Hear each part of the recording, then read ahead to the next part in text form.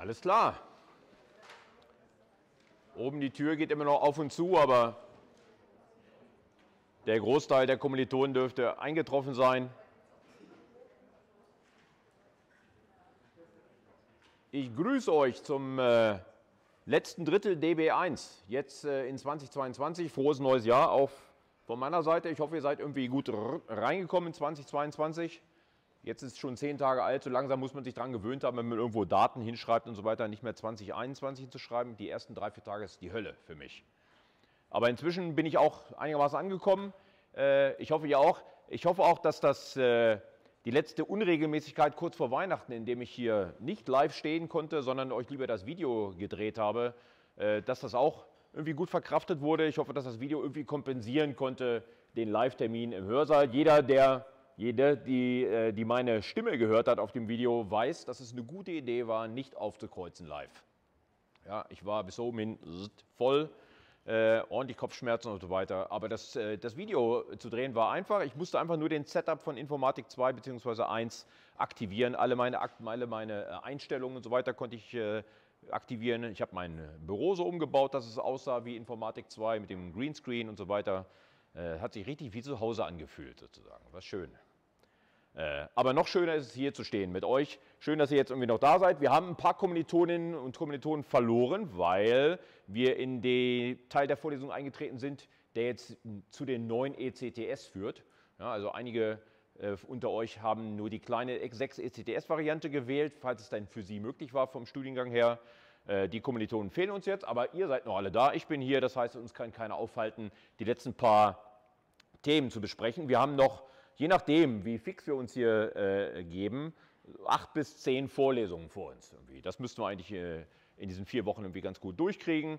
Ein großes Thema beginnen wir jetzt gleich. Ja, hier ist die Zwischentitelfolie zu sehen. Wir werden jetzt gleich über eine andere Art reden, Datenbanken zu designen. Die letzten paar Wochen haben wir damit zugebracht, das Konstrukt der FDs, der Functional Dependencies, zu untersuchen und die am Ende zu benutzen, um Datenbankdesign zu betreiben. Erst die Mini-Welt anschauen, dann die FDs, die in der Mini-Welt gelten, irgendwie äh, aufzeichnen. Ja, okay. Und aus der Menge der FDs, aus der Menge der FDs, ja, zum Beispiel indem man sie in so einen Split-Algorithmus reinwirft, aus der Menge der FD, FDs initiales Relationendesign besser zu machen, sodass die entstehenden Relationen einer Normalform, der Boy-Scott-Normalform entsprechen, dieser BCNF. Ja, BCNF hatte den coolen Vorteil, dass sich äh, in den Relationen keine eingebetteten Funktionen, ja, so irgendwie eingebettete FDs äh, befanden. Eingebettete FDs waren der Feind, ja, weil die zu Redundanzen führen, weil die zu Anomalien beim Einfügen, beim Löschen äh, und bei Updates führen können. Das sind alles Dinge, die wir gerne vermeiden wollten. Okay? Keine eingebetteten FDs, im Gegenteil, die Relationen alle in BCNF bringen, sodass der Schlüssel, der Primary Key der entsprechenden Tabellen schon die FDs, die diese Tabelle beinhaltet, implizieren. Okay? Das gibt dem DBMS, also PostgreSQL, also wirklich den, den Implementationen von DBMS, die ich aus dem Regal greifen kann, die Möglichkeit, mit ihren Primary Key Checks die sie ja durchführen können. Das sind Constraints, die so ein RDMS für uns tatsächlich durchführen kann, mit ihren Primary Key Checks automatisch auch die in den äh, Tabellen enthaltenen FDs mit zu checken. Ja, leider gab es sowas wie Create Functional Dependency oder sowas als DDL-Statements, als Data Definition Statement in SQL gab es nicht. Ich kenne keinen DBMS da draußen, das das implementiert in seiner generellen Form. Was es gibt, sind Primary Key Constraints und Checks, die die entsprechend äh, die das System für uns entsprechend durchführt. Also Tabellen so umformen, dass äh, die enthaltenen FDs auch durch Primary Key Checks äh, getestet werden können. Genau das ist BCNF. Äh, ich denke, ihr habt das irgendwie auf dem Übungszettel so ein bisschen angefasst und irgendwie geübt. Äh, vielleicht kommt irgendwie noch mal ein, zwei Übungsaufgaben jetzt verteilt über die nächsten drei, vier Wochen oder sowas irgendwie da mit rein könnt euch denken, dass das optimales Material ist, um das in der Klausur abzufragen. Was weiß ich, äh, hier gegeben die folgende Tabelle. Was sind die FDs, die gelten oder bringen? Ist diese Tabelle in BCNF? Ja, nein. Kann man super irgendwie durchrechnen. Äh, wir werden hundertprozentig noch solche Übungsaufgaben machen. Wenn es euch zu wenig sind, ärgert den Chris an dem Donnerstagtermin und sagt, hey Chris, mach noch irgendwelche FD-Aufgaben für uns oder was. Oder testet oder was ich. Ja, bau noch mal ein Beispiel dazu, indem wir noch den Split-Algorithmus machen oder irgendwas. Äh, ich hatte ja glaube ich, letztes Mal gefragt, habt ihr alle Bock auf Übungsaufgaben oder Übungsblättern auch mal was zu bauen und zu implementieren? Da ging allgemein die Hand hoch. Ja, ich glaube, auf dem nächsten Übungsblatt gibt es eine Bonusaufgabe. Ja, also eine, die ihr machen könnt, um irgendwie vielleicht mal verlorene Punkte auszugleichen, obwohl, wenn ich auf den allgemeinen Punkte-Average schaue, haben nicht viele von euch die, die, überhaupt die Notwendigkeit, da irgendwas zu verbessern. Aber ich glaube, auf dem nächsten Übungsblatt, jetzt am Mittwoch, gibt es eine Aufgabe, in der man sich zehn Punkte ergattern kann, indem man ein Python-Skript schreibt, das, glaube ich, diesen Key-Algorithmus äh, implementiert. Äh, ich glaube, das war's. Okay, so, das waren in drei Minuten die ganze FD-Story irgendwie nochmal durch. Ja, das war die FD-Welt des Datenbankdesigns. Jetzt eine andere Welt. Eine, die völlig anders schmeckt eigentlich. Ja, und zwar die Welt der Entity Relationship Modelle oder ER-Modelle. Alles klar? Das ist so eine Wall of Text hier, diese Slide 2, mag ich eigentlich gar nicht, aber die fasst zusammen, was die Idee hinter den ER-Modellen ist. Okay, äh, das ist eine Art und Weise, die Mini-Welten, die wir in unserer Datenbank abbilden wollen, zu beschreiben. Okay, und zwar auf eine formale Art und Weise, aber eine formale Art und Weise, die sehr, sehr zugänglich ist, weil sie nämlich gleichzeitig mit einer grafischen Notation daherkommt. Okay? Dieses Entity Relationship Modell beschreibt Mini-Welten einfach eigentlich in Form von drei Konstrukten, die wir miteinander irgendwie interagieren lassen. Ja, drei Dinge, drei Werkzeuge liegen auf dem Tisch, die müssen wir bloß kreativ einsetzen, um mit diesen drei Konstrukten Mini-Welten da draußen zu beschreiben. Erstes Konstrukt sind Objekte, Mini-Weltobjekte, die da draußen vorherrschen. Auch hier im ER-Modell Entities genannt. Daher kommt das E in, in ER-Modell. Okay? Entities, anderes Wort für Objekte, die wir aus der Mini-Welt irgendwie darstellen wollen. Objekte können in Beziehung miteinander gesetzt werden. Ja, gib mir zwei Objekte, oh, die stehen in der Ist-Vater von Beziehung oder äh, was weiß ich, ist Teil von Beziehung. Okay, zwei Objekte. Oh, ist Objekt 1 Teil von Objekt 2? Oh ja, dann sind sie in der Ist-Teil von Beziehung. Das sind Relationships. Bitte nicht mit Relationen verwechseln. Ja, Relations, Tables, das ist das heilige Wort in dieser Vorlesung für die rechteckige Datenansammlung im relationalen Datenmodell. Hier sprechen wir von Relationships, okay, von Beziehungen zwischen Entities oder Objekten. Okay, äh, damit ich denen noch irgendwie interessante Eigenschaften zuordnen kann, so Properties ja, oder Attribute, wie sie im Entity Relationship genannt werden, habe ich die Möglichkeit, sowohl die Objekte, die Entities mit Attributen, also Eigenschaften zu versehen, als auch die Relationships. Das ist das Letzte, das ist ganz interessant. Werden wir auch an einigen Stellen mal einsetzen, ja, dass die Beziehung zwischen zwei Objekten selber eine, eine, Eigenschaft hat. Zum Beispiel, oh, wann wurde denn diese Beziehung zwischen O1 und O2, den beiden Entities oder Objekten, wann wurde die denn hergestellt? Ja, zu welchem Zeitpunkt? Das wäre dann, wär dann weder ein Attribut des einen Objekts und des anderen Objekts, das ist ein Attribut der Beziehung. Seit wann gilt die denn? Oder bis wann gilt die? Oder was weiß ich. Okay? Oder wie stark ist die Bindungsstärke zwischen O1 und O2? Wer weiß, vielleicht bin ich ja Chemiker und die entsprechenden Entities sind chemische Elemente. Eine Beziehung besteht zwischen denen, wenn die irgendwie tatsächlich eine, so eine Strukturbeziehung eingehen. Wie stark ist die? Ja? Oder wie stark bindend ist die? Sowas könnte ich mir vorstellen. Das wäre ein Attribut, eine Eigenschaft, die ich an die Relationship zwischen den beiden Entities dran hefte. So, und das war's. Mehr Konstrukte, E und R, Entity und Relationship und jeweils Attribute dazu.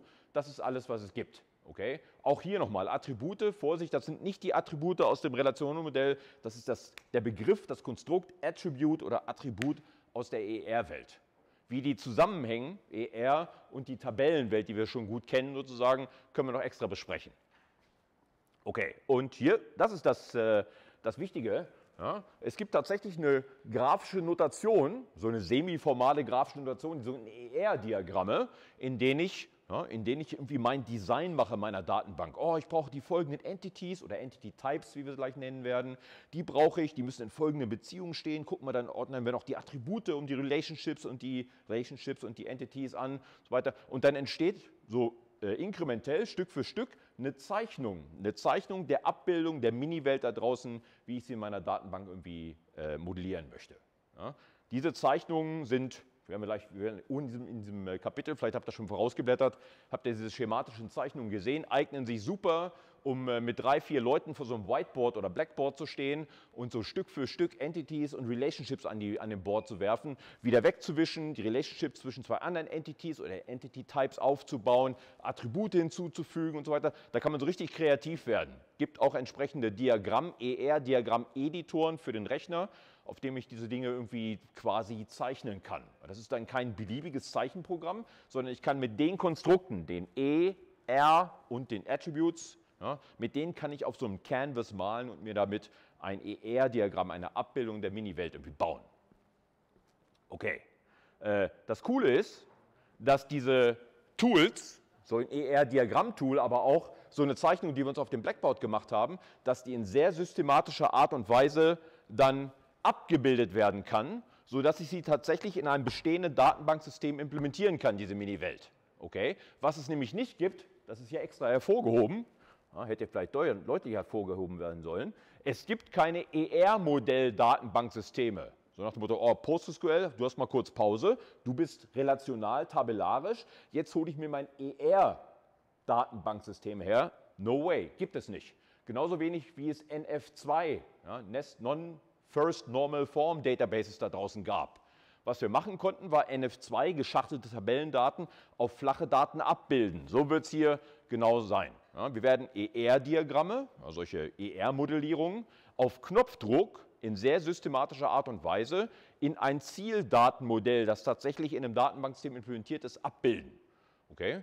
ER nach JSON. Okay, gibt es einen Algorithmus dafür? ER nach Tabellen und Relationen, also SQL. Gibt es auch ein entsprechendes Verfahren dafür. Das letztere, wie man von ER in systematischer Art und Weise auf Tabellen, ja, Tabellendefinitionen kommt, äh, das werden wir uns genauer anschauen im Rahmen dieser Vorlesung. Okay. Das sind also nicht nur Pretty Pictures, ja, schön zum Anschauen, schön zum Kommunizieren mit anderen Usern, Dafür sind die super geeignet. Sie sind auch gleichzeitig dazu geeignet, in systematischer Art und Weise ein Datenbankdesign daraus abzuleiten. Und wenn man die Regeln anwendet für die Abbildung von ER in die Welt der Relationen, dann kommen da auch gute, gute Datenbankdesigns bei raus, die in äh, schönen Normalformen sind. Ja, also nicht irgendwelche Tabellen, so, uh, sondern tatsächlich äh, BCNF-Tabellen kommen dabei raus. Okay, das hört sich nicht schlecht an. Ja.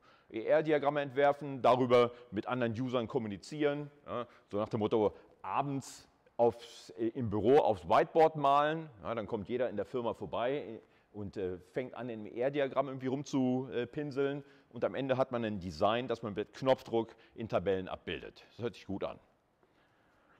Okay, ja, äh, weil das ER das ER-Modell nicht gebaut wurde, um als Frontend sozusagen für das relationale Datenmodell dazustehen. Das ist das, das, das relationale Datenmodell, die Tabellen, das ist eine mögliche Implementation für ER. Werden wir im ER-Modell hier und da mal ein Konstrukt finden, das keine einfache oder vielleicht gar keine natürliche Abbildung in das Zieldatenmodell, zum Beispiel Relationen hat. Also äh, seid darauf gefasst, dass wir jetzt irgendwie heute im Laufe der Diskussion oder morgen wenn wir schauen, wie lange wir brauchen für das ganze ER-Modell, ab und zu mal Situationen treffen werden, wo man im ER-Modell irgendwas ausdrücken kann, hinzeichnen, hinmalen kann, es dafür dann aber keine direkte oder keine befriedigende Abbildung in die Relationen gibt. Das ist nicht ER anzulasten, das ist dann vielleicht eher dem Zieldatenmodell anzulasten, das nicht genauso ausdrucksstark ist. Okay. Heißt dann aber nicht, dass man, äh, was ich, dieses ER-Feature, das man nicht abbilden kann, dass man das dann nicht auf andere Weise implementieren kann, vielleicht in der Applikation im Code oder sowas, wenn das Datenbanksystem das selber nicht hinbekommt. Okay, so. Ich habe mal so ein ER-Diagramm mitgebracht. Ja, ein sehr, sehr stilisiertes Ding ist das. Äh, Weil es nur wenige ER-Modellkonstrukte gibt, steht natürlich auch diese Zeichnung relativ einfach. Okay, hier diese gelben Kästen und ich glaube im ganzen, im ganzen Kapitel werden es immer diese gelbfarbigen Kästen sein. Das sind die Entities oder eigentlich müsste man genauer sagen, das sind die Entity Types. Ja, in meiner Mini-Welt gibt es also offensichtlich Lego-Sets, über die ich sprechen möchte und äh, es gibt auch Lego Bricks. Und äh, das sind die beiden Entity Types. Ja, wenn ich Entity Types und Entities unterscheide, kommt auf der nächsten Folie auch gleich, dann ist das so, als ob ein objektorientierter Programmierer oder Programmiererin sagen würde, hey, Entity Type, das ist das gleiche eigentlich wie eine Klasse. Ja, und das Entity, das ist das Objekt, das ist dann das Instanz einer Klasse. Äh, eine Instanz einer Klasse. Okay? Also so eine, so eine Klasse oder ein Entity Type wie Lego Set, das ist mehr wie so eine Schablone. Wenn du mir einmal die Schablone gibst, dann kann ich auf den New, New, New Button drücken, dreimal und damit mir drei Entities, drei Objekte des Entity Types oder drei Objekte der Klasse, um in OOPL zu sprechen, generieren. Ist die Entscheidung ungefähr klar? Die Unterscheidung? Sorry. Okay, also darum ist das hier ein Entity Type, der gelbe, und das ist ein Entity Type. Und in meiner Mini-Welt wird es da draußen offensichtlich Lego Set Entities, Objekte geben, und Lego Brick Entities. Und die sind in dieser Relationship. Relationships sind immer binär, zwischen zwei Entity Types aufgebaut. Okay, können wir gleich noch drüber sprechen in einem Beispiel, ob man das nicht vielleicht irgendwie auflösen kann oder aufweichen kann, ob das immer binär sein muss. Aber das ist die Originalintention oder die Originaldesign der IR-Diagramme gewesen. Das ist eine Contains Relationship. Lego Set oder Lego Sets contain Lego Bricks. So ist das zu lesen eigentlich. Okay, wunderbar. Äh, das Grüne sind die Attribute. Äh, ich hoffe mal, ich halte diese grafische Sprache und Farbe im ganzen Kapitel durch. Das Attribute können entweder an den Entity Types hängen oder hier an, dem, an der Relationship oder eigentlich müsste man sagen Relationship Type. Ja, also Quantity ist etwas, was hier an dieser Contains Relationship hängt. Das ist nämlich weder eine Eigenschaft des Lego-Sets und noch eine Eigenschaft des Lego-Bricks. Es ist eine Eigenschaft der Beziehung, dass ein bestimmter Brick siebenmal in diesem Lego-Set enthalten ist. Vielleicht ist der gleiche Brick in einem anderen Set neunmal enthalten. Okay? Das ist mit Quantity an der Stelle gemeint. Wie oft bist du tatsächlich, du Baustein, tatsächlich in diesem Lego-Set enthalten? Lego Set, der Entity Type und auch Lego Brick haben selber ihre eigenen lokalen Attribute, Set ID und Brick ID. Ja, also irgendwie etwas, was die identifiziert, können wir auch gleich noch extra drüber sprechen. Können wir noch eine ganze Menge mehr von Attributen äh, vorstellen, die sich um so einen Entity Type wie hier das Lego Set irgendwie umordnen wollen. Äh, wir werden nachher größere Beispiele sehen. Dann gibt es tatsächlich mehr Attribute, die sich um diese Entity Types normalerweise so in, in so einem Kreis herum so irgendwie gruppieren. Okay, die Farben hat Grust erfunden hier sozusagen. Die Formen, eckige Kästen für Entity Types, Raute für Relationship Type und diese Ovale ja, für Attribute ist eine grafische Notation, die seit Mitte der 70er Jahre benutzt wird. Ja. Gibt einen Kollegen, äh, dessen Vorname mir gerade entfällt. Und das, äh, nein, nein, ich weiß ihn, Peter. Wahrscheinlich ist das der europäisierte Vorname. Peter Chen ja, ist der Erfinder, ich glaube 76 oder sowas, des, äh, der Entity des Entity Relationship Modells ist eine sehr, sehr wohlfundierte, weit etablierte Notation für solche Mini-Welten im ER-Format. Ja, vielleicht kennen einige von euch da draußen irgendwie kompliziertere, modernere Notationen, so wie UML-Diagramme und so weiter. Vielleicht könnte man die irgendwie in einen Topf mitwerfen. Die Welt der ER-Diagramme ist deutlich älter. Und ihre konzeptuell vielleicht auch einfacher, würde ich mal sagen. Ist sowas wie UML, wird sowas gelehrt hier? Da sehe ich ein Nicken. Ist das ein painful Nicken oder super UML? Painful. Ist die Kommilitonin die einzige? Oder trage UML schon bekannt so? Bitte? Bekannt schon, aber gehasst. Sozusagen. Ja, alles klar, sehr gut. Okay, so, wenn man jetzt also sich dem ER-Modell nähern will und es gibt nur drei Konstrukte, Entity Types, Relationship Types und die Attribute, ja, dann kann man das auch in drei Folien erläutern, das ganze Ding. Genau das machen wir jetzt. Also, Entities bzw. Entity Types. Wie ich gerade schon gesagt habe, wir benutzen Entities, um Objekte zu repräsentieren. Alles klar. Also hier, wie ihr es gerade schon gesehen habt, Lego Sets, Lego Bricks oder unsere anderen Applikationsdomänen, die wir im Rahmen der letzten Wochen irgendwie besucht haben, Earthquakes, ja, oder Calendars oder Employees, die irgendwie in diesen Kalendern irgendwie vorkommen, das wären alles Entities. Okay. Äh,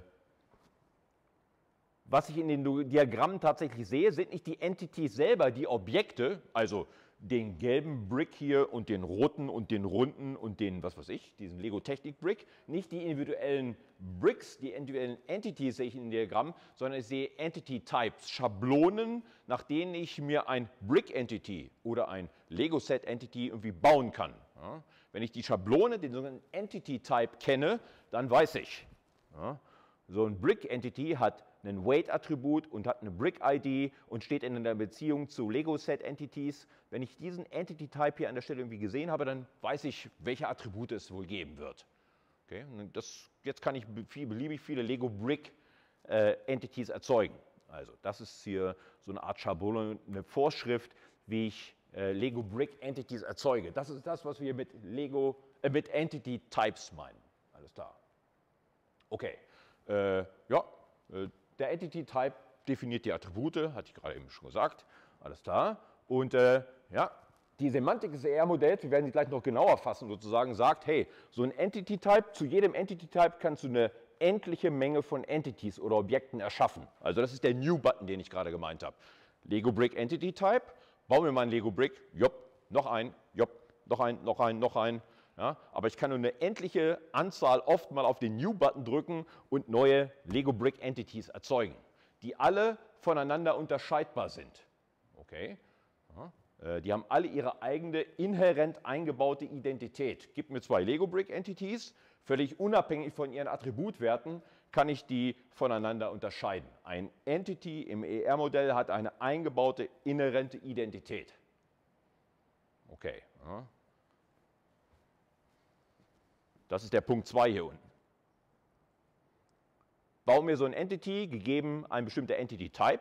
Ja, alles klar. Dann schaue ich mir das Ding an, schaue mir ein anderes Entity vom gleichen Type an und kann die voneinander unterscheiden. Völlig unabhängig von ihren Attributwerten. Anders war das im relationalen Datenmodell. Gib mir zwei Rows aus einer Tabelle. Ja, die Rows selber haben keine Identität. Was sie haben, sind Spaltenwerte oder Attributwerte, an denen ich sie irgendwie unterscheiden kann. Wenn es einen Key in der entsprechenden Tabelle gibt, dann weiß ich sogar, hey, die Keys von zwei Rows tragen immer unterschiedliche Werte, daran kann ich die entsprechend unterscheiden. Das war eine wertebasierte Identifikation. Das ist nicht die Absicht im ER-Modell. Im ER-Modell erschaffe ich so ein Entity und bevor ich mich irgendwie um Attributwerte dieses Entities kümmere, kann ich das schon von allen anderen Entities unterscheiden. Okay. Anders, ja, eine andere Sache ist, wenn ich das dann aus dem ER-Modell in die Welt der Tabellen abbilden will, ja, dann äh, muss ich mich natürlich darauf einlassen, wie das Zieldatenmodell, Tabellen zum Beispiel, wie dort Identifikation betrieben wird. Kann sein, dass die dort wertebasiert ist, so mit Key-Values und so weiter. Äh, das muss ich dann bei der Abbildung entsprechend berücksichtigen. Aber wenn ich nur in der Welt der ER-Modelle denke, und das machen wir gerade in diesen Minuten, dann ist die Objekt, die Entity-Identität inhärent eingebaut. Okay, so, alles klar. Und ich habe gerade eben immer davon gesprochen, oh komm, Mini-Weltobjekt, ja, Lego Brick oder Employee oder so ganz konkrete Dinge, die ich anfassen kann. Hier so Employee, so piek, piek, ja, alles klar. Das muss nicht unbedingt sein. So ein, äh, äh ein Entity, so ein modelliertes Objekt in der ER-Welt muss nicht unbedingt was irgendwie physisch Konkretes sein. Das kann auch irgendwie ein Konzept sein, das in meiner Mini-Welt irgendwie vorkommt, wie zum Beispiel das interessante Konzept der Vacations zum Beispiel. Ja, das ist etwas, was ich nicht irgendwie physisch anfassen könnte, könnte aber in einer bestimmten Applikationsdomäne etwas sein, was ich auf jeden Fall als Objekt irgendwie identifizieren möchte, das irgendwie verschiedene Attribute hat. Wann beginnen deine Ferien, wann enden sie und so weiter, wo werden sie stattfinden. Äh, gar kein Problem, sowas auf ein Entity abzubilden. Muss also nicht irgendwie so ein physisches Ding sein.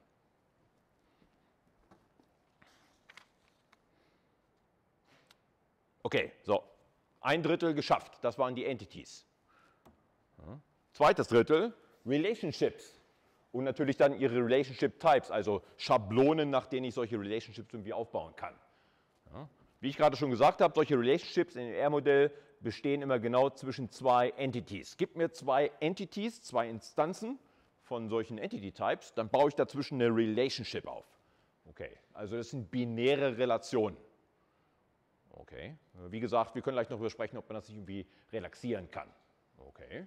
Äh, so ein Entity, wenn du mir ein bestimmtes Objekt, so ein bestimmtes Objekt gibst, äh, dann kann das in einem, in einem R-Modell mit anderen Entities in so einer Relationship stehen, kann sein. Es gibt aber vielleicht auch Entities, die in gar keiner Beziehung zu niemandem stehen.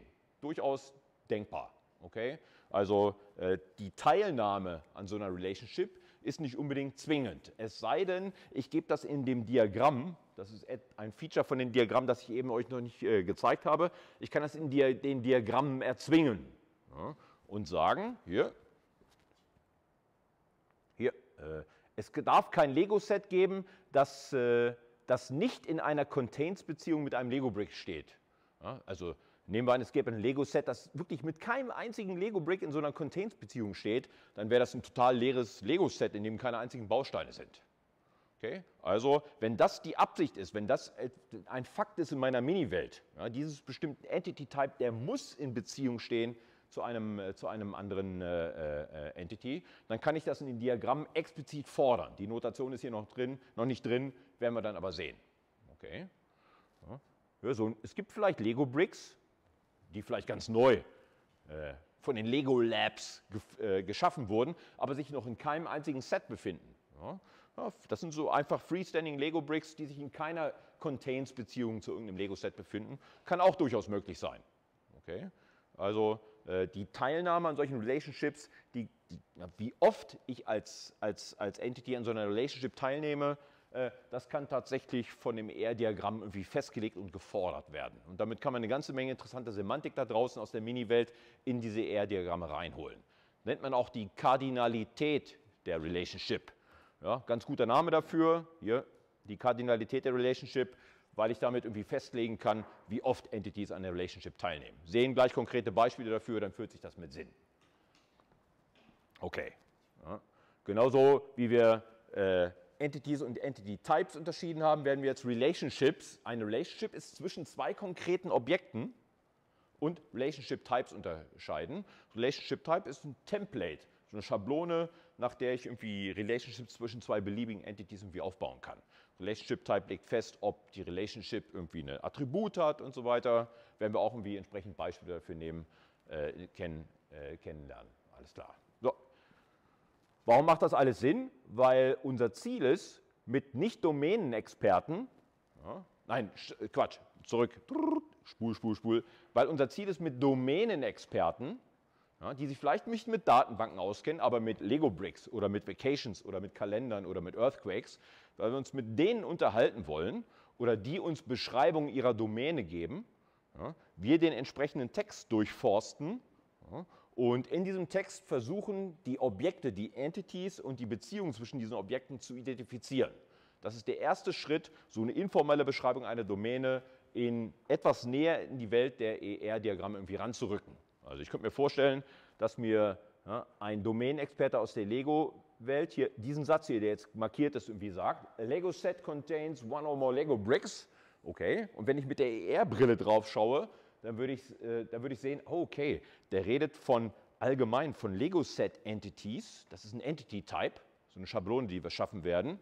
Äh, und er redet von Lego Bricks, okay, weiterer Entity Type. Dazwischen stehen die in einer Contains-Beziehung. Okay, und da ist sogar schon von One or More Lego Bricks die Rede. Äh, ah, da ist sogar schon so ein bisschen was mit Kardinalität drin. Okay, das ist also eine ganz typische Aufgabe, so einen domänenspezifischen Text zu durchforsten, den so ein bisschen ja, mit der ER-Brille ein bisschen abstrakter anzuschauen und zu identifizieren, wo redet der Domänenexperte äh, in Wirklichkeit von Objekten oder Entities, wo er redet da von Beziehungen dazwischen. Okay, oder hier.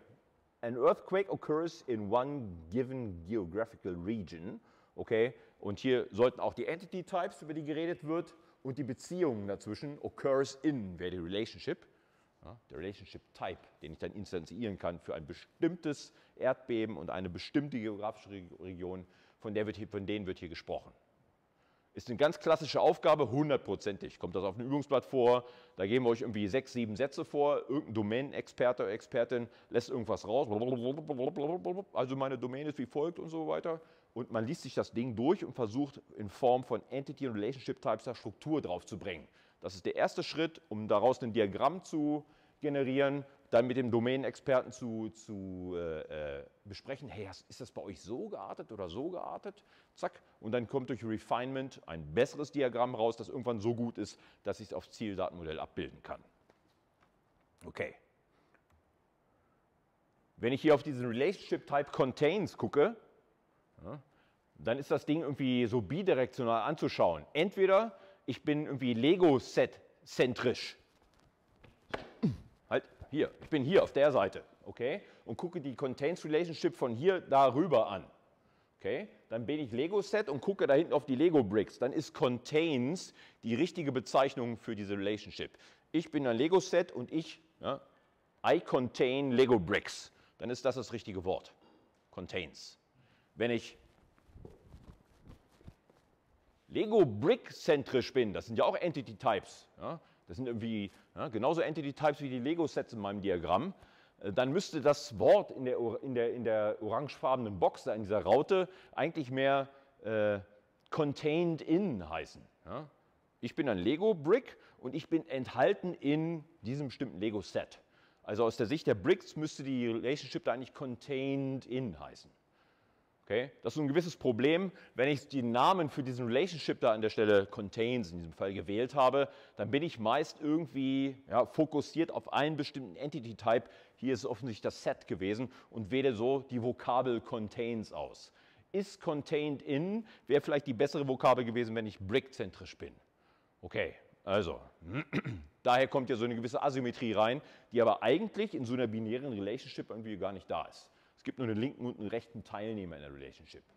Okay? Und äh, die Vokabel contains ist so ein bisschen links äh, fokussiert an der Stelle. Es gibt äh, Varianten vom, vom äh, ER-Modell, wo man dieses contains bzw. is contained äh, in, ja, wo, man, äh, wo man beide Namen zulässt und die dann irgendwie Role Names nennt und so weiter. Aber hey, ja, wir haben nur endlich viel Zeit und endlich viele Vorlesungen hier an der Stelle, darum müssen wir jetzt damit leben, dass wir hier mit einem ausgewählten Relationship Type Name daherkommen. Okay, das ist genau die Strophe, die ich gerade vorgesungen habe, die uns unten auf der, auf der Folie ist.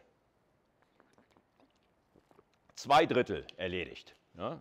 Entity Types, Relationship Types. Bleibt nur noch die Attribute. Okay, also sowohl Entities und äh, Entity Types und Relationships Type, diese Klassen, ja, diese, diese Templates, diese Schablonen, können mit Attributen versehen werden. Okay? Und wenn ein bestimmter Entity Type ein Attribut A hat und ein Attribut B, werden alle Entities, die zu diesem Entity Type gehören, ja, A und B Attribute besitzen. Okay. Relationships können ebenfalls Attribute besitzen, haben wir auch eben gerade schon in dem äh, Diagramm gesehen. Ja. Welche, welche Typen diese Attribute haben, ja, diese Properties, diese Eigenschaften, die ich an die Entities irgendwie dranheften kann, darüber macht das ER-Modell eigentlich kaum eine Aussage. Okay, wir gehen normalerweise davon aus, dass es irgendwie einfache Werte, atomare Werte sind im Sinne von 1NF. Ja, keine weiter irgendwie strukturierten Dinge. Vor allem ja, findet sich in so einem Attribut nicht ein weiteres Entity oder sowas, so Rekursion irgendwie. Genau wie sich in einer 1NF-Tabelle, in einer Tabellenzelle keine weitere Tabelle findet, ist es hier so in einem ER-Diagramm, wenn ich auf die Attribute schaue und auf die Typen dieser Attributwerte, was ich daran finde, sind atomare, einfache Dinge wie Zahlen, Boolean, Strings, Integer, was weiß ich. Ja? Äh, und nicht wieder selber Entities oder sowas, die dann selber wieder Strukturen, Attribute haben. Das ganze Ding ist also flach oder First Order, wie man auch manchmal in der Semantik sagt. Ja, nicht rekursiv, kann ich irgendwie besonders tief rekursiv absteigen. Okay. Alles klar. Äh, ja, ja, wenn, äh, wenn ich nachher ein bestimmtes Zieldatenmodell in PostgreSQL-Tabellen zum Beispiel irgendwie ansteuere, dann sagt mir das Zieldatenmodell, ja, ich kann dir sagen, was die, was die zulässigen atomaren Datentypen sind. Date, Money, Text, in 4, in 2, was weiß ich. Äh, ja, dann muss ich eine Abbildung finden der entsprechenden Attributtypen, die ich im ER-Diagramm beabsichtigt habe, auf das Zieldatenmodell. Aber normalerweise ist das kein Problem. Okay. So. Jetzt hatte ich darüber gesprochen, dass wir uns über die Identifikation von Entities in dem ER-Diagramm eigentlich gar keine Sorgen machen müssen, denn Identität ist in die Entity, Entities inhärent von vornherein eingebastelt. Ja, du erschaffst eine Entity, dann hat das eine unverwechselbare Entität, die unterscheidet von allen anderen, äh, Identität, die es unterscheidet von allen anderen Entities oder Objekten. Ja. Zusätzlich, in addition, ja, zusätzlich kann ich auch Attributwerte benutzen, um eine wertebasierte Identifikation zu machen. Zusätzlich. Okay. Vielleicht schon mit Blick darauf, dass ich irgendwann meiner Abbildung den Abbildungsbutton drücke für mein ER-Diagramm, das in ein Zieldatenmodell abbilden will und ich weiß schon, hey, das Zieldatenmodell, da gibt es keine eingebaute, eingebaute inhärente Identität, da muss Identität immer über Werte, über Key Values zum Beispiel abgebildet werden. In Vorbereitung darauf oder weil es einfach identifizierende Werte gibt, in ganz natürlicher Art und Weise meiner Mini-Welt, kann ich einige von den Attributen hier durch Unterstreichen im Diagramm zu Keys erheben. Okay? Das sind Keys im Entity Relationship Modell. Ihr könnt euch denken, dass die bei der Abbildung in die relationale Welt dann auch zu Key-Attributen werden, wirklich zu relationalen Keys. Aber hier sprechen wir von ER-Keys, Attribute, die tatsächlich identifizierend sind, Attributwerte, zusätzlich zu der eingebauten inhärenten Identität. Darum hier, in addition. Wunderbar. Ja. Äh, ich habe da oben schon angedeutet, ja, in R-Diagramm werden wir die gleich dann unter, unterstreichen, diese Attribute in ihren, in ihren grünen Ovalen, um zu äh, markieren, ja, das sind äh, identifizierende Attribute in diesem ER-Diagramm. So, mehr gibt es nicht. Das sind die drei Konstrukte. Okay. Ja, jetzt habe ich oben nochmal das ER-Diagramm, so ein bisschen verändert, kaum verändert, ein bisschen verändert, äh, das wir eben gerade schon gesehen haben. Also Lego Set contains Lego Brick, alles klar. Äh, das sind die beiden Attribute, die ich denen hier zuordne. Äh, ein Lego-Set hat einen Namen und einen, eine Set-ID, die sogar identifizierend wirkt. Okay, darum ist das Ding hier an der Stelle unterstrichen. Okay, so ein Lego-Brick hat wahrscheinlich viele interessante Attribute, aber hier in meiner Mini-Modellierung sind die einfach nur durch gekennzeichnet, dass sie eine Brick-ID haben, die sogar identifizierend wirkt, zusätzlich zu der inhärenten Lego-Brick-Identität, die schon eingebaut ist in die Entities und zu so einem Weight, wahrscheinlich so ein Floating Point Value in Gramm, wie wir das schon öfter gehabt haben in unserer Vorlesung. Okay? Die beiden Entity Types stehen in einer Contains Relationship hier an der Stelle. Okay, das ist der Welt hier, alles was jetzt über dem Cursor ist, fahre ich gerade so lang, alles was jetzt über dem Cursor ist, ist die Welt der ER-Diagramme und der Entity Types, wie ich sie irgendwie so äh, aufgezeichnet habe. Unterhalb des Cursors habe ich mal eine konkrete Instanz, ja, eine konkrete Mini-Welt mit zwei Sets und drei Bricks, tatsächlich mal instanziert. Ich habe zweimal beim Entity Type Lego Set auf New gedrückt und zwei konkrete Entities S1 und S2 äh, kreiert. Und beim Lego Bricks habe ich dreimal drauf gedrückt und B1 bis B3 generiert und kreiert. S1 ist unterscheidbar von S2 und den ganzen BI ein eindeutig, ja, schon inhärent, nach der Kreierung ein eindeutig voneinander allen anderen unterschieden. Ich habe S1 und S2 mal hier in diese gelbe Box reingemacht. Die Notation jetzt hier, alles unterhalb des Cursors, das ist Grusts Own Invention. Ja? Einfach nur, um euch irgendwie klarer zu machen, hey, ja, hier diese beiden, diese beiden Entities gehören zum Lego Set Entity Type. Diese drei Entities gehören zum Lego Brick Entity Type. Okay, alles klar. Äh, hier sieht man die entsprechenden Attribute, die ich denen zugeordnet habe. Ja, S1 hat tatsächlich ein Set und ein Name und S2 ein Set und ein Name Attribut. Das sind Werte nach der 1NF-Konvention, atomare Werte, so wie wir sie kennen aus dem, aus dem relationalen Datenbild zum Beispiel. Okay, und äh, hier Set, das ist tatsächlich identifizierend, 9472 79004. Ja, tatsächlich dieses Versprechen gilt. Ja, äh, wenn ich mir die Attributwerte, die Set-Attributwerte der beiden Entities S1, S2 anschaue, da sind die tatsächlich identifizierend. Genauso sieht es hier mit der Brick-ID auf der rechten Seite aus und den äh, die entsprechenden Weights, ja, die entsprechenden Weights sind auch irgendwie zugeordnet worden. Jedem Entity ist eine entsprechende Attributwert für alle Attribute zugeordnet worden. Okay. Und ich habe die Relationships explizit gemacht. Ja, die Contains Relationship ist eine binäre Relationship.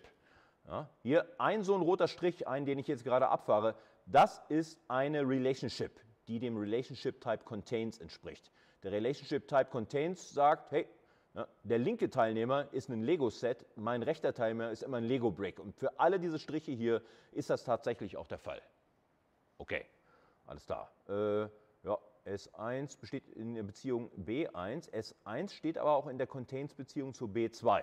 Okay, also ich habe hier keine expliziten Cardinalities angegeben, aber offensichtlich kann ein Lego-Set mehrfach in der Contains-Beziehung zu verschiedenen Lego-Bricks stehen. Und genauso ist es drüben auf der Lego Bricks Seite übrigens auch. Ja, so ein Lego Brick wie B2, der kann gleich mit zwei verschiedenen Sets in der Contains Beziehung oder ist contained in Beziehung stehen. Je nachdem, aus welcher Richtung man das anschaut. Ist der Unterschied zwischen der Instanz unten und diesem Diagramm da oben, das mir die möglichen Instanzen eigentlich vorgibt oder beschreibt, ist die klar geworden ein bisschen? Ja? Okay. Also wie gesagt, die Notation hier unten, das ist Gruss Own Invention. Das ist nur eine, eine konkrete Instanz von dem ganzen Ding da oben. So, Jetzt haben wir noch nicht so viele Ehe-Diagramme gesehen, irgendwie nur das eine da und die eine andere Variante auf zwei Folien zuvor. Wir werden aber noch eine ganze Menge mehr Ehe-Diagramme hier an der Tafel malen. Äh, das wird sowieso jetzt für das YouTube-Video ein bisschen spannend, weil jetzt muss man eigentlich an die Tafel gehen und die ER-Diagramme zeichnen. Ich werde das auch machen äh, und ich werde die hoffentlich in geeigneter Art und Weise auf die, in die YouTube-Videos irgendwie übertragen können. Schauen wir mal. Ja, wir werden jedenfalls mehrere Diagramme noch sehen, sowohl auf den Slides als auch auf dem Blackboard. Ja, und ich hatte gesagt, solche Diagramme, die tragen schon irgendwie eine, wenigstens eine semiformale, eigentlich eine formale Bedeutung. Ja, das ist nicht einfach nur eine Zeichnung. Ja, weil sie eine formale Deutung haben, kann ich auch einen Algorithmus angeben, der die, den Inhalt dieser Diagramme in systematischer Art und Weise in Zieldatenmodelle überträgt. Okay? Das heißt, äh, auch wenn wir jetzt noch nicht so viele Diagramme gesehen haben, wäre jetzt vielleicht ein guter Zeitpunkt, um kurz innezuhalten und zu sagen, was bedeutet das eigentlich, dass hier irgendwie diese gelben, äh, roten und grünen Kuller irgendwie gezeichnet wurden? Ich brauche eine Semantik dafür und äh, die ist genauso wie das ER-Modell selber, äh, ist die Diagrammsemantik. Die Semantik so eines ER-Diagramms eigentlich relativ einfach zu fassen. Ja. Es gibt, was gibt es denn? Es gibt Entities oder Entity Types, sorry, Relationship Types, und Attributes, die entweder an Entity Types oder an Relationship Types dranhängen. Eigentlich gibt es nur diese vier Konstrukte, die ich irgendwie habe. Attributes, die können so in zwei Rollen vorkommen. Entweder hängen sie in Entities oder in Relationship Types dran. Okay. Und äh, darum hat dieses, diese Box hier, die sich um die Semantik von ER-Diagrammen kümmert, auch genau vier Unterscheidungen. Okay. Gib mir irgendwie einen Entity-Type E aus deinem ER-Diagramm. Ja. Was bedeutet das dann? Ja, und was bedeutet das? Die semantische, die semantische Abbildung, die Semantikfunktion von so einem Diagramm, äh, die habe ich hier mal so doppelt gestrichen E, doppelt gestrichen R genannt.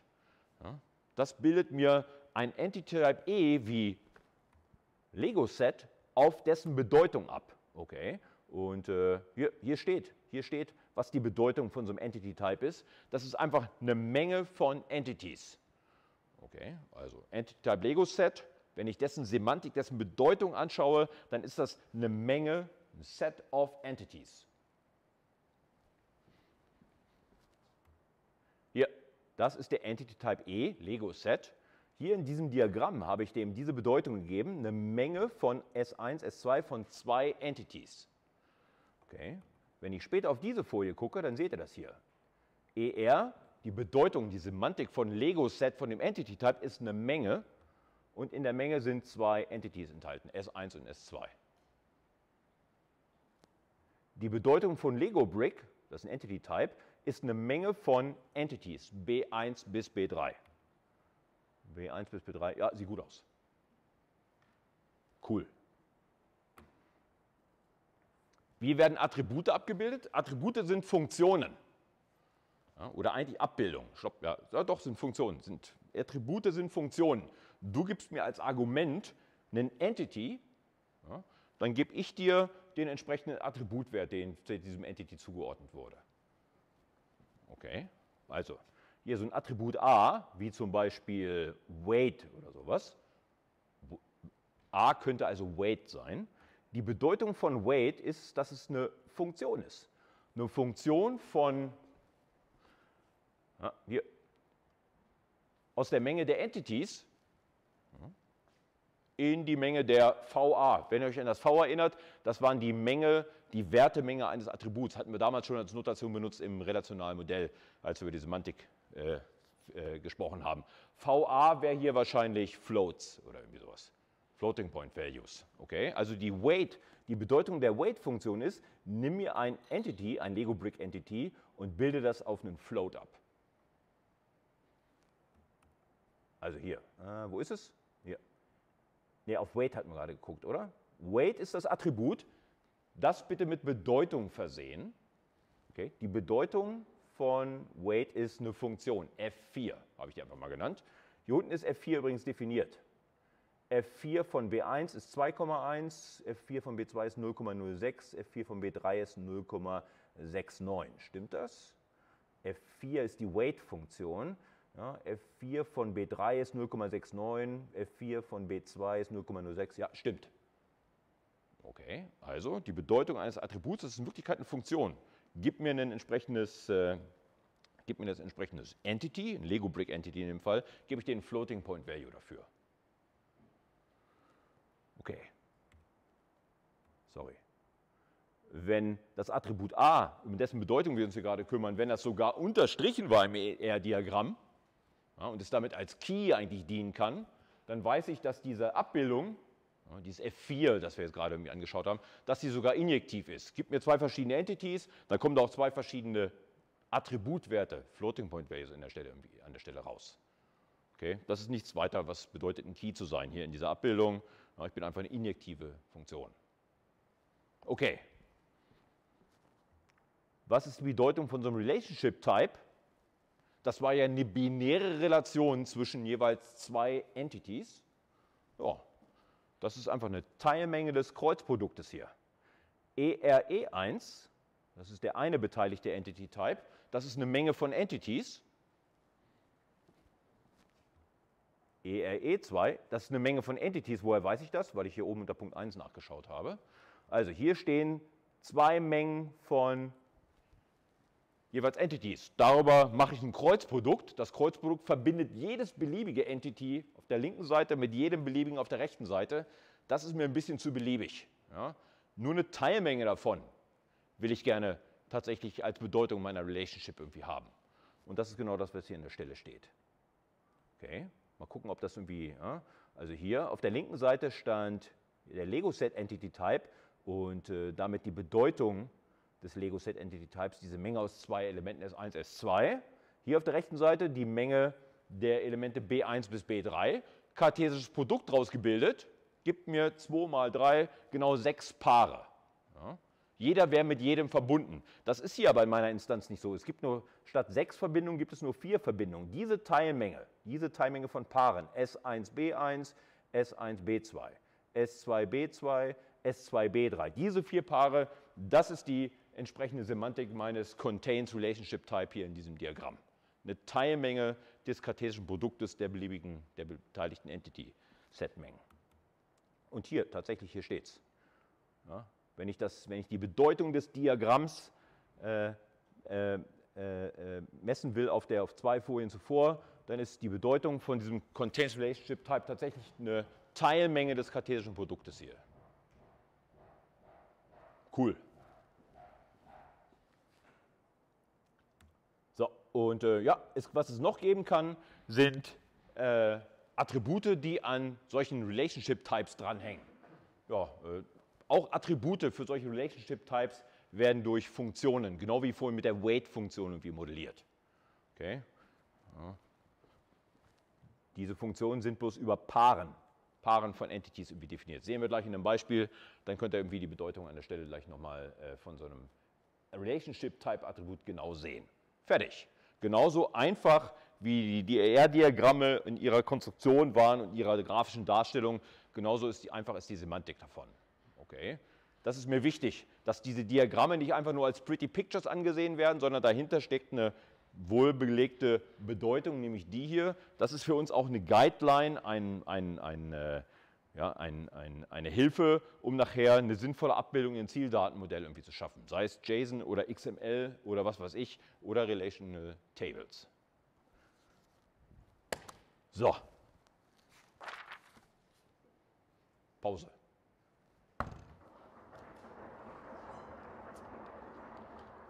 Dann ist jetzt der Zeitpunkt gekommen, wo wir tatsächlich mal äh, die ersten Diagramme hier an die Tafel bringen. Ja? Auch wenn sie erstmal jetzt ganz einfach sind.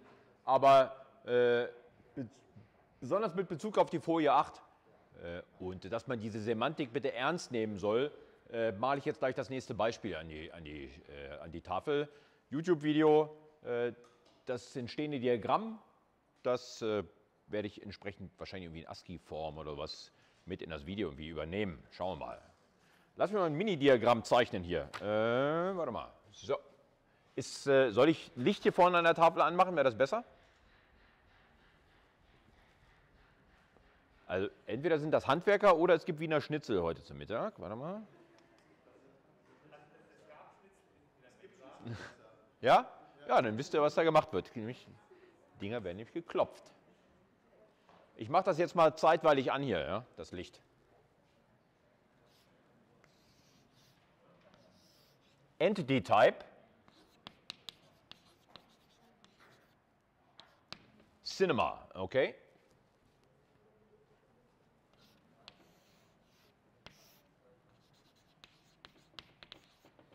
Entity Type Movie, okay? Jetzt eine Relationship dazwischen.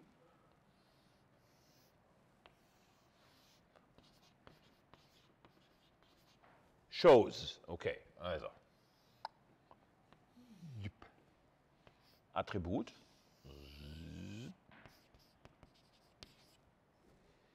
Fertig. Ja?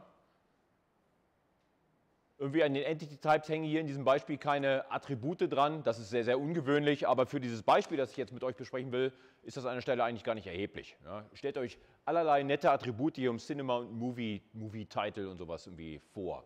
Ja? Für das, was ich jetzt gleich mit euch besprechen will, nicht relevant. Wenn ihr das Diagramm verbalisieren müsstet, sozusagen die Mini-Welt, die dieses Diagramm beschreibt, was wären die ein, zwei Sätze, die dieses Diagramm vollständig charakterisieren?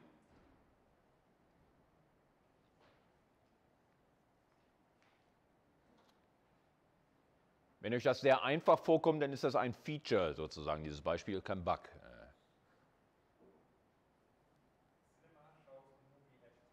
Ja, also Kinos zeigen Filme zu einem bestimmten Zeitpunkt. Ja. Shows, Cinema Shows Movie, ja, das ist mal wieder so Cinema-orientiert, aber Movies shown by Cinema, das wäre Movie-orientiert. Ich habe mich für die eine Benennung der Relationship aus der Cinema-Sicht entschieden, die andere Benennung wäre genauso gültig oder sowas. Und wie gesagt, Manche sagen, hey, lass uns doch Roles verwenden, Shows und ist shown by. Das sind irgendwie zwei verschiedene Aspekte dieser Rolle hier und so weiter. Mache ich aber an der Stelle in der Vorlesung nicht. Okay, alles klar. Wie steht es mit der Semantik von dem Ding? Das wäre jetzt die ER-Funktion, diese doppelte, doppelt gestrichene ER-Funktion. So möchte ich mal notieren. Ja, zum Beispiel könnte ich die Semantik von dem Cinema Entity Type irgendwie festlegen. Das ist eine Menge von Entities. Ja? Und äh, in meiner Mini-Welt soll das mal sein, es gibt nur ein Kino, ja? das hat den, das ist das Entity C. Okay? Das, ist, das ist die Repräsentation dieses Entities, völlig abstrakt. Das hat eine Identität und so weiter. Das reicht mir an der Stelle. Äh, es gibt ein Kino namens C. Wie das Kino heißen würde, wo das located ist und so weiter, das würden mir die Attribute, die ich hier an Cinema irgendwie dranheften würde, irgendwie sagen. Habe ich aber in meinem kleinen Beispiel an der Stelle überhaupt gar nicht.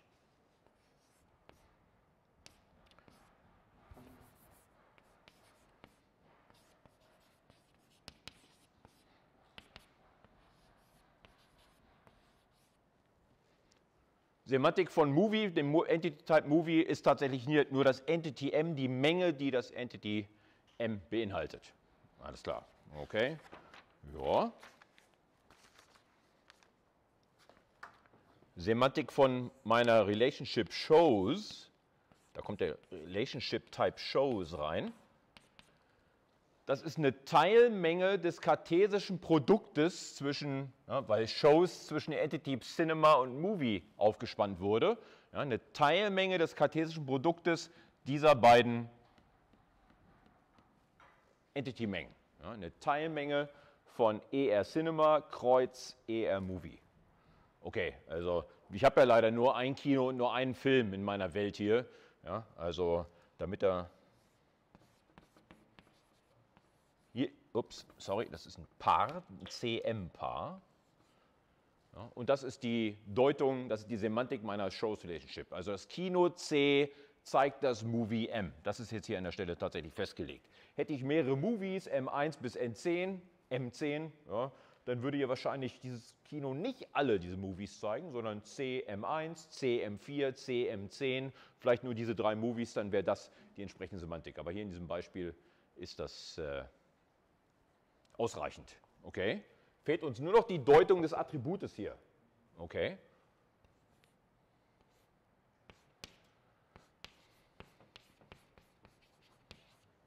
Und wenn ich da auf meine Folie gucke, jetzt bin ich unter Punkt 4.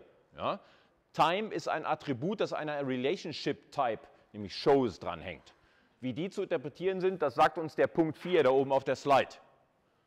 Okay. Die Interpretation so eines, äh, so eines Attributes ja, das ist eine Funktion. Okay. Hier. F1 nenne ich die mal. Ich bin also hier gerade, in dem, hier gucke ich gerade drauf. A ist Time. Ja. Und äh, die Deutung von, äh, von diesem, äh, also ER-Time ist eine Funktion, eine Funktion F1. Okay. Äh, die Zielmenge dieser Funktion ist v von Time. Jetzt gucke ich gerade auf das hier. Hier. Die Zielmenge dieser Funktion F1 wird ja, irgendeine Repräsentation von Zeit sein. Vielleicht ist es ein String, vielleicht habe ich den richtigen Time, Data Type oder sowas, wäre cool. Das wäre v von Time. Okay? Äh, die Quellmenge hier, die Domäne, die Domain von der Funktion f1 ist das da. Diese Menge. Und wie die aussieht, weiß ich. Hier, da ist sie. f1 ist also eine Funktion über solchen Cinema-Movie-Paaren und jedem dieser Cinema-Movie-Paaren wird ein ja, Time-Wert zugeordnet. Okay, also hier. f1 ist eine Funktion über Cinema-Movie-Paaren. Hier ist ein Cinema-Movie-Paar, ist das einzige, das wir haben. Ja, und dem wird dann eine Uhrzeit zugeordnet, also irgendwas vom Typ V von Time. Also hier, komm, 3 p.m. Ja, meine Repräsentation ist ja offensichtlich in der Form von Strings oder irgendwie sowas. Denkt euch da an einen coolen Zeitdatentyp hin und so ist auch genauso okay. So, das wäre die komplette Semantik dieses Diagramms hier. Okay, warum habe ich das als Beispiel ausgewählt? Weil diese Modellierung vielleicht unerwarteterweise nicht zulässt, dass ein und dasselbe Kino, C, den Film M, haben keinen anderen, zu zwei verschiedenen Zeiten zeigt, nämlich um 3 Uhr nachmittags und um 6 Uhr, 3 p.m. und 6 p.m. Mit diesem Diagramm nicht modellierbar. Ja. Hier, CM, also Kino, Kino C zeigt das Movie M, kann ich in meine Time-Funktion, F1 ist das, reinstecken, da kommt da 3 p.m. raus oder 6 p.m., aber nicht beides. Okay, also diese Art von, diese Modellierung ist so einfach, dass sie zeigen kann, dass ein Kino oder das Kino C diesen einen Film zu einem bestimmten Zeitpunkt zeigt und das war's. Wenn meine Mini-Welt da draußen verlangt, Mensch, äh, das kann doch wohl nicht wahr sein. Ja, äh, dieses Kino soll diesen Film mindestens zu zwei verschiedenen Zeitpunkten, vielleicht zu n verschiedenen Zeitpunkten äh, zeigen können, dann brauche ich wohl ein anderes ER-Diagramm.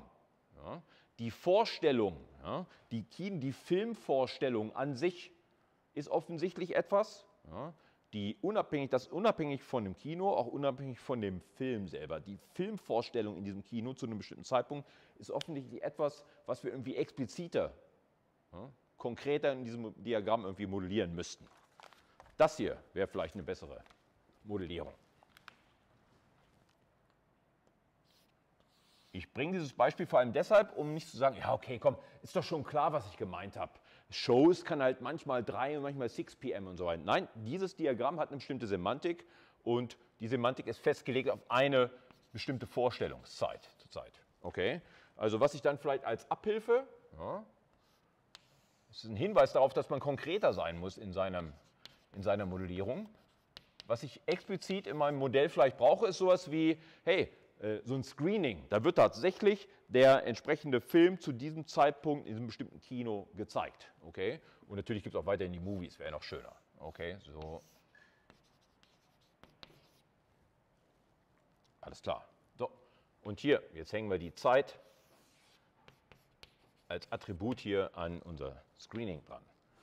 Und äh, hier bräuchte ich eine Relationship zwischen den beiden.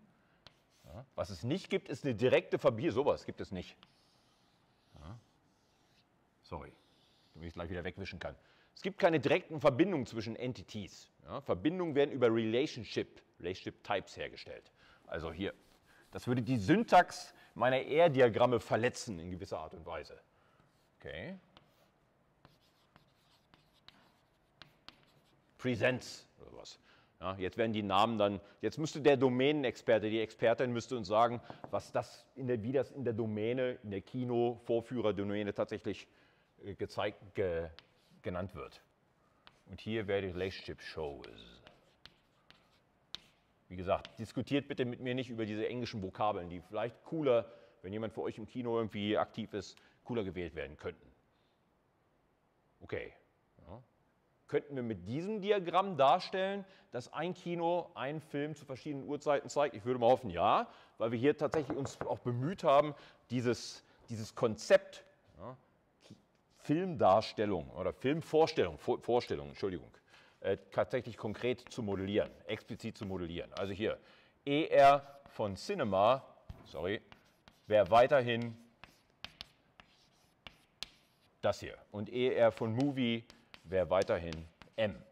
Wir reden also weiterhin nur von, zurzeit jedenfalls in unserer Mini-Mini-Welt, nur von einem Kino und einem Film. Was es jetzt gibt, ist die Semantik von, oh, von, vom Entity Type Screening. Und äh, vorhin wollte ich zwei Filmvorstellungen haben, eine um 3 Uhr und eine um 6 Uhr. Ah, dann werde ich mir zwei Screenings gönnen, S1 und S2. Da sind sie. Okay, und äh, hier die Deutung dieses Attributes, die an meinem Screaming Entity Typing, das ist der Punkt 2 hier aus meiner Diagrammsemantik. Die würde jetzt anstehen. Also Time.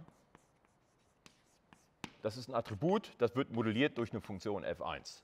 Nennen wir sie mal f2, weil wir hier auf der anderen Tafel schon das f1 in Benutzung haben. Okay. f2 ist eine Funktion von ER Screening.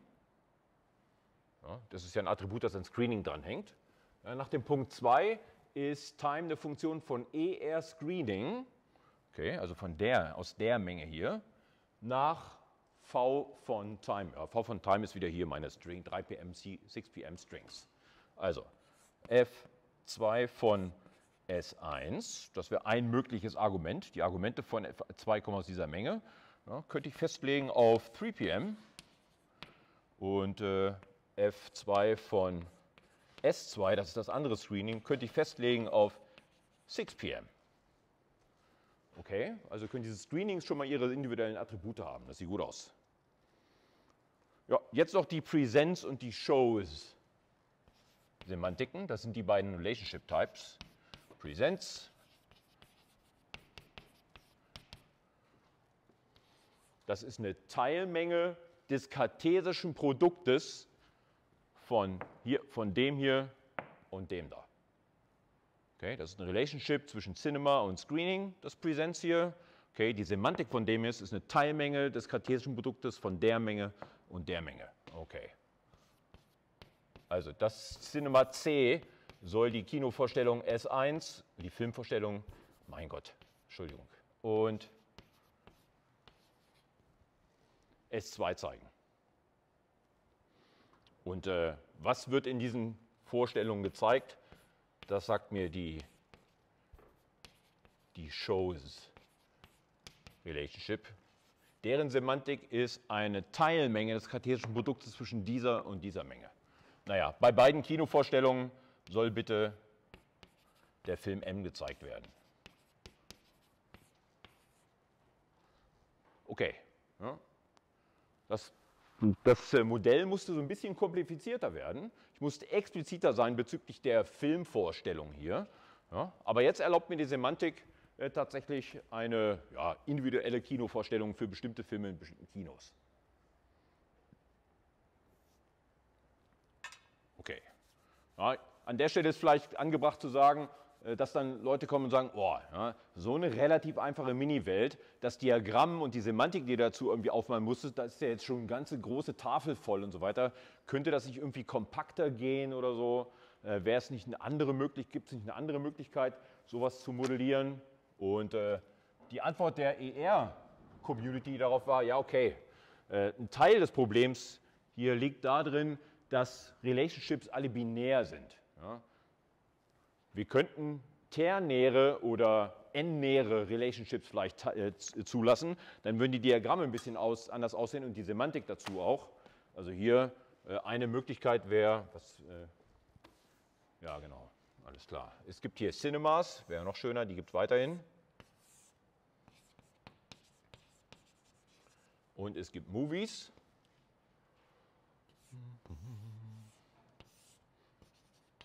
Und es gibt Filmvorstellungen. Also was ich jetzt anmale, ist ein Nicht-Standard-ER-Diagramm, das, glaube ich, im Rahmen der Vorlesung so auch nicht wieder vorkommt. Das ist nur einfach, um den Spielplatz, auf dem man sich hier bewegt, so ein bisschen besser zu charakterisieren. Da wären meine Screenings. Okay. Dazwischen, die stehen alle in, in einer interessanten Relationship, in der Shows Relationship. Aber in der Welt der generalisierten ER-Diagramme, der verbesserten oder was weiß ich, ER-Diagramme, kann das auch eine ternäre Relationship sein. Zum Beispiel eine dreistellige Relationship. So. Und äh, an dem Screening hängt die Time dran, schätze ich mal, oder? Nee, an dem Shows hängt die Time. Wieso an dem Shows? Ja, ist eigentlich in der Modellierung nicht ganz so wichtig. Äh, hier hängt die Time dran. Äh.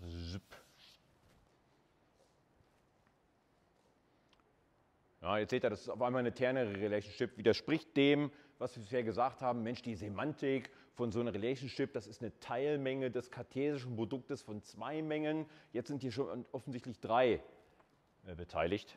Komm, lass uns noch ganz kurz aufmalen, dann haben wir es. Äh, muss ich die Kollegen hier nochmal abschreiben? Nee. ER Cinema, Movie und Screening, diese drei Mengen und Semantiken sind genau die gleichen hier in diesem Diagramm. Okay. Was Interessante, was hier passiert, ist bei der Semantik der Shows Relationship. Die Shows Relationship ist jetzt nicht mehr die Teilmenge des kartesischen Produktes von zwei Mengen, sondern von drei Mengen. Hier die drei beteiligten Entity Types und ihre Bedeutungen der, der Mengen C, M und S1, S2. Eine Teilmenge des kartesischen Produktes dieser drei beteiligten Mengen. Und äh, damit ich die gleiche Welt darstelle wie oben in meinem zweiten Diagramm da, würde ich wohl diese Tupel auswählen, diese Tripel auswählen. S2M. Also die Semantik so einer ternären Relationship wäre eine Menge von Tripeln. Ja. Kino C zeigt den Film M sogar zweimal, aber zu verschiedenen Screenings. Was wäre die Semantik von Time?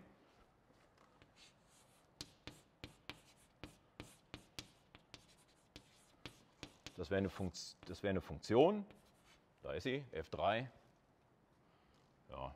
Weil, ich die, weil ich das Attribut hier oben an die Relationship dran gehängt habe und nicht an Screening selber, weiß nicht, ob das ein gutes Design Decision war, aber sie funktioniert auf jeden Fall, ja. ist die entsprechende Quellmenge, die Domäne von F3 sind hier die Shows Triple. Und äh, was ich jetzt machen könnte, ist das erste Screening hier äh, das könnte um 3 pm sein.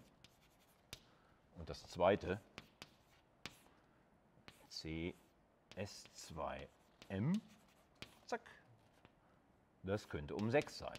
Und dann habe ich auch die Welt modelliert, die mir an der Stelle irgendwie so wichtig war. Aber wie gesagt, die gesamte untere Tafel hier, die würde ich irgendwie ja, in Klammern setzen und so weiter. Mit ternären Relationships würden wir eigentlich an der Stelle nicht arbeiten wollen. Einige sagen, hey, wenn du n-nähere, ternäre, zum Beispiel Relationship teilnimmst, äh, äh, zulässt, Entschuldigung, in deinem ER-Modell, dann macht das nichts, bevor wir, ja, bevor wir alle weiteren Verarbeitungsschritte auf diesem ER-Diagramm unternehmen, kompilieren wir das, übersetzen wir das in ein Diagramm, wie es da oben steht. Ja, so eine ternäre Relationship wird zu zwei binären Relationships und es gibt so ein extra Entity, äh, das wir irgendwie dazu ähm, dass wir das so in der Mitte irgendwie platzieren, äh, dann hat man die gleiche Semantik eigentlich dargestellt. Mit den üblichen ER-Konstrukten.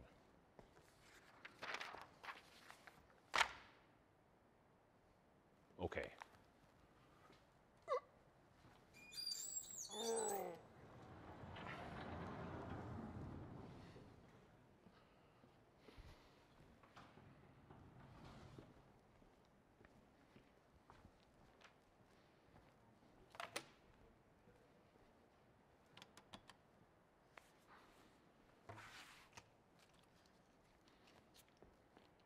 So. Ähm, was ich jetzt noch ein bisschen mehr mit Inhalt wollt, äh, füllen wollte, waren diese Kardinalitäten, von denen ich gesprochen habe, in denen ich irgendwie festlegen kann, Mensch, ein bestimmtes Entity muss aber mit einem anderen äh, Entity in Beziehung stehen oder es darf maximal n-mal, dreimal mit, anderen, mit anderen Entities in Beziehung stehen. All das kann man hier an der Stelle irgendwie äh, in ER-Diagramm mit sogenannten Kardinalitäten festlegen. Diese Diagramme haben bisher keine Kardinalitäten äh, getragen. Es, dieses Diagramm schreibt nicht vor, wie viele Movies in einem Cinema gezeigt werden oder wie oft ein Movie in einem Kino irgendwie gezeigt wird. Okay, das, so ein Movie kann nirgendwo gezeigt werden. Ja, manche Filme haben es nicht verdient, gezeigt zu werden. Ja, das wären so Art Ladenhüter oder sowas. Die würden an der Shows Relationship irgendwie niemals teilnehmen. Andere, die totalen mega äh, äh, Kassenschlager, ja, die würden, was weiß ich, die würden ohne Ende in einer ja, bestimmte Movie Entities würden ohne Ende in Shows Beziehungen zu Cinemas stehen. Ja, okay, und äh, ja, manche, manche Mini-Welten da draußen machen erst dann Sinn ja, oder machen vor allem dann Sinn oder mehr Sinn, wenn ich hier, wie oft ein Entity-Type an so einer Beziehung wie teilnehmen darf, wenn ich das irgendwie explizit mache und beschränke. Und das sind die sogenannten Kardinalitäten. Okay, also generell, so wie die Diagramme hier stehen, gibt es da keine Beschränkung, wie oft ein Entity an so einer Relationship irgendwie teilnimmt. Vielleicht nullmal, vielleicht tausendmal. Aber ich kann konkreter sein. Wenn meine Applikation, meine Mini-Welt-Semantik da draußen das irgendwie vorschreibt oder suggeriert, dann kann ich Minimum- und Maximum-Anzahl von Teilnahmen von so einem Entity in so einer Relationship wie festschreiben. Okay? Und wie ich das mache, ist, indem ich hier den Strich unterbreche, da so ein Tupel reinbaue. Okay. Und hier die minimale und hier die maximale Anzahl an Teilnahmen irgendwie festschreibe. Äh. Ein Kino muss mindestens zwei Filme zeigen, aber höchstens vier.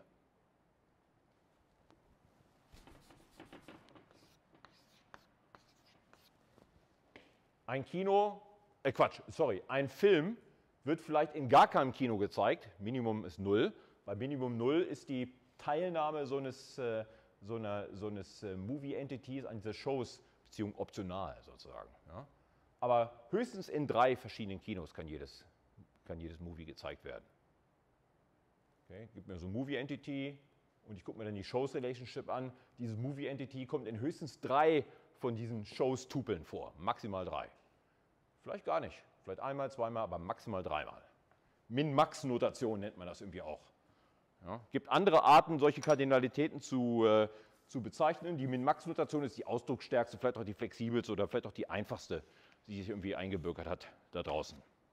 Okay, dann sieht mein Diagramm also auf einmal so aus, in allgemeiner Form.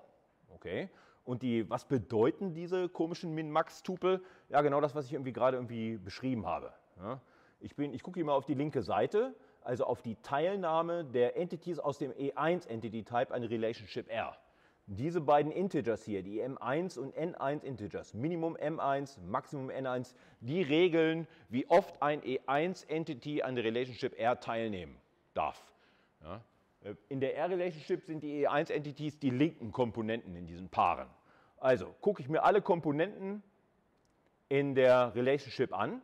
Ich weiß, dass das hier Sinn macht, denn die Bedeutung, die Semantik von meiner Relationship R ist eine Menge von Tupeln. Ja? Hatten wir gerade in der Semantik vorher festgelegt. Also, ich iteriere über diese Menge von Tupeln drüber, suche mir all die Tupel raus, die in der linken Komponente ein bestimmtes, äh, ein bestimmtes äh, E1-Entity haben, sagen wir mal E, gilt aber für alle, gilt für alle E1-Entities. Also, ich fokussiere mich jetzt auf die Tupel, in denen in der linken Komponente, Komponente ein E steht. Die suche ich raus Und dann weiß ich die Kardinalität der Menge. Hier, die suche ich alle raus, dann habe ich diese Menge in der Hand. Jetzt gucke ich mir deren Kardinalität an und ich weiß, die Kardinalität wird zwischen M1 und N1 liegen. Okay? Also, dann darf dieses eine E-Entity aus dem Entity-Type E1 darf nicht öfter als N1 mal in der linken Komponente der Tupel vorkommen, ja, aber mindestens M1 mal. Und auf der anderen Seite ist natürlich symmetrisch. Ja. wenn es um die Teilnahme der E2-Entities geht, gucke ich mir wieder diese Tupel an, gucke auf die zweite Komponente. Ja, wenn die zweite Komponente E ist, alles klar, suche ich mir die Anzahl der Tupel, die in der zweiten Komponente E tragen, suche ich mir raus.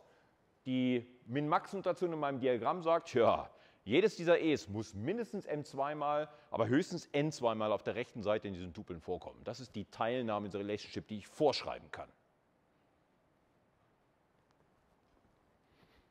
Ja, jetzt kann man sich fragen, was darf denn da m2 und n2, was darf, dürfen das sein?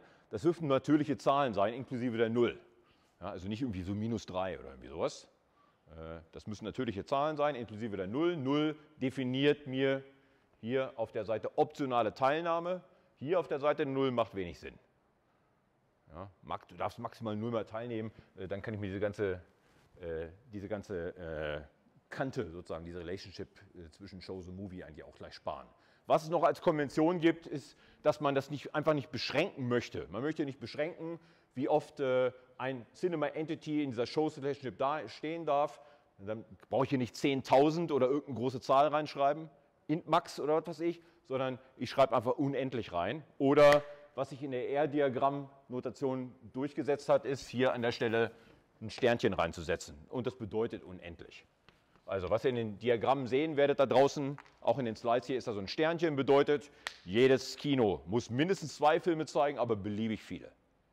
Ja, nach oben keine Grenze gesetzt, das bedeutet das hier an der Stelle. Okay.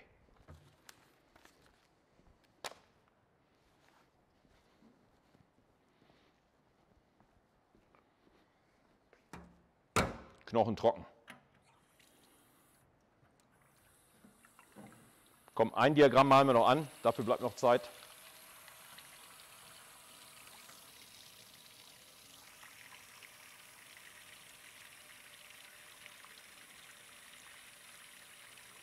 In der Vorlesung mit Stil würde jetzt irgendwie Musik spielen zwischendurch oder irgendwie sowas. Ja?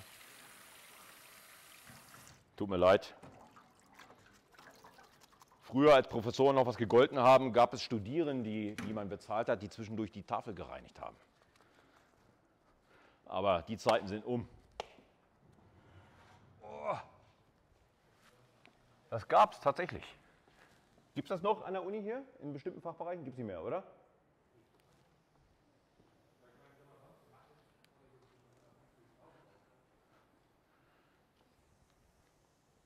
gibt immer diese Urban Legends von den Profs, die irgendwie in der rechten Hand irgendwie schreiben, mit der linken Hand äh, den Schwamm sozusagen nachführen, um dann gleich irgendwie wieder zu löschen dahinter oder so. Äh, ja.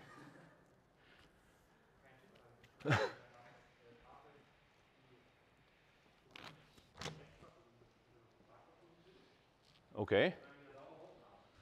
Ah, okay. Ja, würde ich auch nehmen. Alles, nehme alles.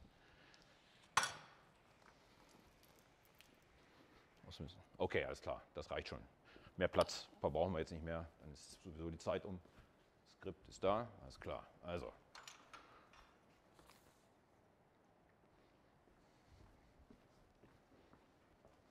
Komm, ein oder zwei Beispiele können wir hier noch bauen.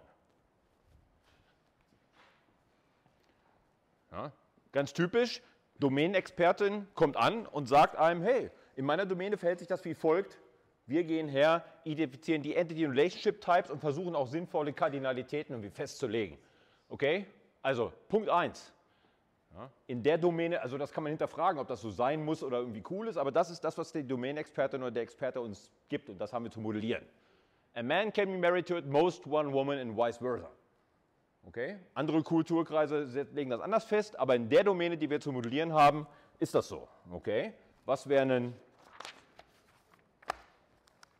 wäre ein Diagramm? Ich kann aber das Diagramm anmalen und ihr sagt mir die Kardinalitäten.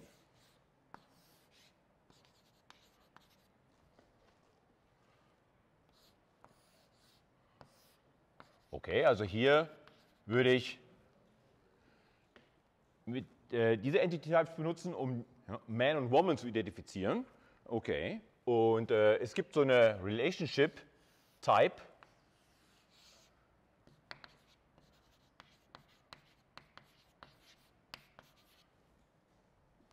Ja.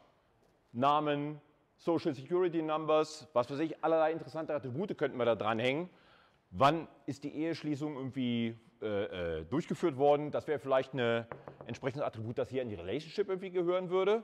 Können wir alles cool dran bauen. Interessiert mich an der Stelle eigentlich nicht, weil wir gerade Kardinalität im Fokus haben. Okay, also.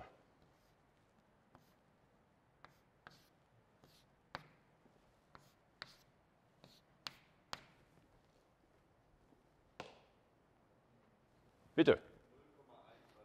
0,1.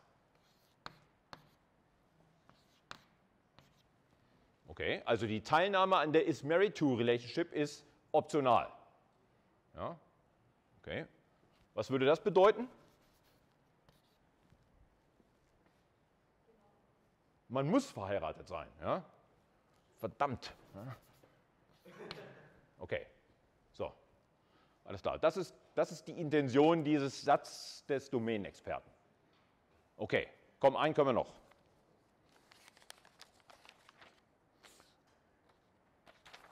An airport is located in, or lies in, an airport is located in exactly one country.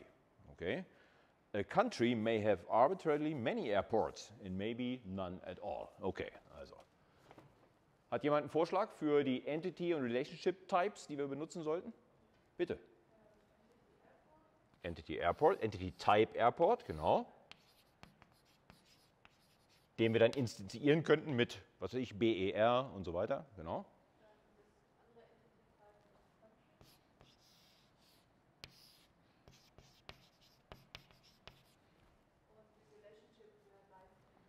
Okay, ich sag mal located in oder lies in, ja, genau.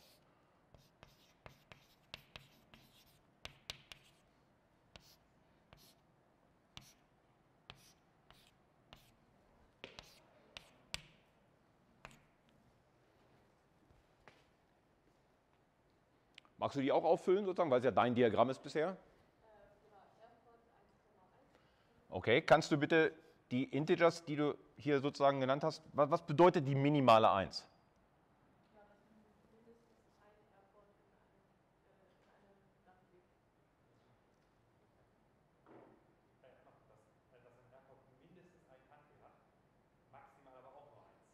Okay.